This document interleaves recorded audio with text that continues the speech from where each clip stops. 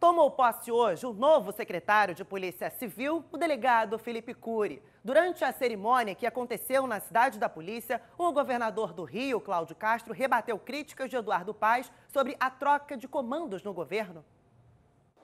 A cerimônia aconteceu no auditório da Polícia Civil na tarde desta sexta-feira e contou com várias autoridades. Durante o discurso, o governador do Rio, Cláudio Castro, provocou o prefeito Eduardo Paes, que havia criticado o troca-troca na segurança do Rio. Faça o seu trabalho e não chame a polícia de incompetente. Incompetente é quem, por 12 anos, deixou as, as milícias desse Estado crescerem e aparecerem e financiar ela com o poder político.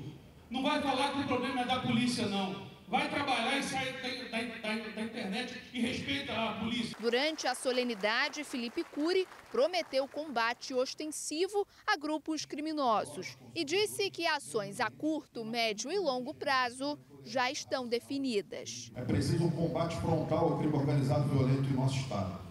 E para isso, precisamos de diálogo, união, integração. Apesar da posse ter acontecido nesta sexta-feira, o novo secretário já promoveu mudanças no comando dos principais departamentos. Alexandre Erdi foi nomeado como diretor-geral do Departamento de Homicídios e Proteção à Pessoa. Quem assume o Departamento de Polícia do Interior é Pedro Henrique Brandão.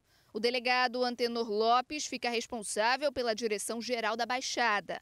Já o delegado André Luiz de Souza Neves é o novo diretor do Departamento Geral de Polícia Especializada. E Henrique Damasceno vai comandar o setor de combate à corrupção e lavagem de dinheiro. Cury assume a secretaria no lugar do delegado Marcos Amin, que teria tido um desgaste com Castro após mudanças internas e faltas a reuniões no Palácio Guanabara. Felipe Cury tem uma trajetória extensa na Polícia Civil. Foi o delegado que comandou a ação que terminou com a morte de Wellington da Silva Braga, o ECO, então chefe da maior milícia do Rio.